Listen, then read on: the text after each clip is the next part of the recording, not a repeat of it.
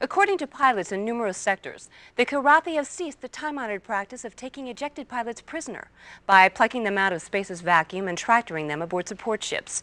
Instead, they have been firing on the defenseless flyers, murdering them in cold blood.